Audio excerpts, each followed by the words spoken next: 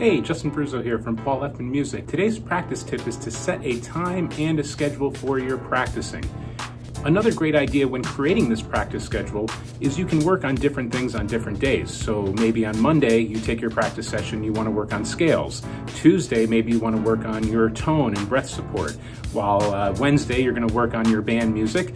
And then maybe on Friday, you practice something fun, like uh, one of the songs out of the Harry Potter collection or Star Wars, something that's more of a passion project to reward yourself for all the great work you did all week. At a minimum, you should try to practice four times a week with sessions that are at least 15 minutes long. In a perfect world, you'd get to practice a half hour every single day. But we know the world is anything but perfect right now. Remember, consistency is key, so have a great time, work hard, and you will become an amazing musician.